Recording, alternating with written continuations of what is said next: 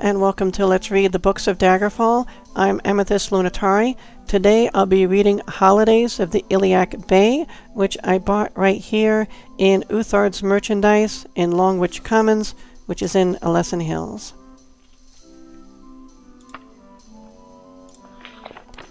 Holidays of the Iliac Bay.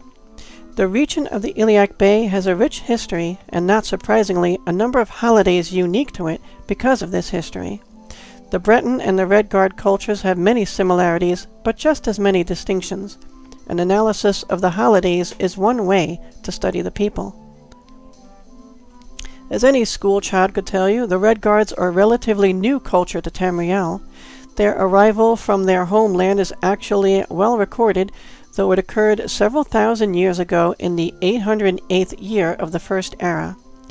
Hammerfell was a great desert encompassed by almost impassable mountains, unclaimed and unwanted. Many of the holidays extant in modern Hammerfell seem to be direct translations of older Redguard festivals before their migration to Tamriel.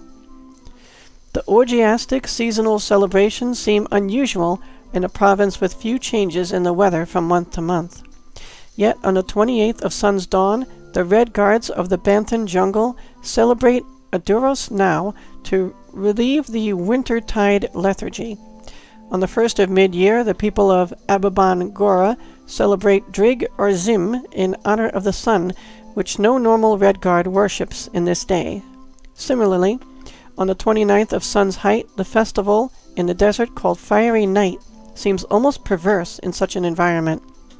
The Koomu Alezer'i on the 11th of last seed and sentinel has been translated as a harvest thanksgiving, though many scholars have suggested that it was once a springtide holiday.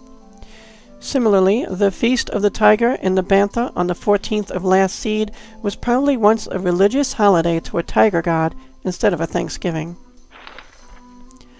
Other old Redguard holidays have either been acknowledged as part of the old culture or adjusted to fit with the climate of Hammerfell.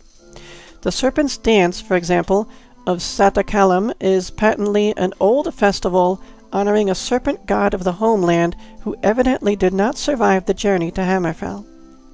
The significance of the date the third of sun's dusk has been lost with the serpent priests. Baranth Do on the 18th of evening star and Chil'a on the 24th of the same month are both New Year's festivals. Most likely, they have been moved from their original dates to correspond with the notion of the year defined in Tamriel. The Bretons have been in Tamriel since before recorded history. Their holidays have remained almost unchanged since primitive times, though new holidays have been created to replace those which have lost popularity. The oldest holidays still observed in High Rock must include Waking Day on the 18th of Morning Star, when the people of the earth, Burrowland, wake the spirits of nature after the winter, very nearly in the tradition of their more reverential ancestors. Flower Day, held on the 25th of First Seed in the smaller villages of High Rock, is most likely just as older or older. The old cult of the flower is also remembered as guard Gardtide in Tamarilyn Point on the first of Rain's Hand. Daggerfall's Day of the Dead on the 13th of Rain's Hand suggests the ancestor worship that marked the Breton religion of antiquity. Finally, the ancient goddess of the moons, Secunda, is remembered in the moon festival of Glenumbra Moors on the 8th of sun's dusk, just as the nights begin to grow longer. The more recently created holidays of High Rock are those like Tibedetha, Tiber's Day, celebrated every 24th of mid-year in honor of Alcaire's most famous son, Tiber Septim. Likewise, Othroktide on the 5th of Sun's Dawn is held in honor of the first and most illustrious Baron of Dwynnen. In quite extreme contrast, Marukh's Day on the ninth of second seed is a solemn holiday, immortalizing the lessons of the equally solemn First Era prophet Marukh. My favorite of the modern Breton festivals has to be Mad Pelagius, held in mock honor of the most eccentric of the Septim emperors.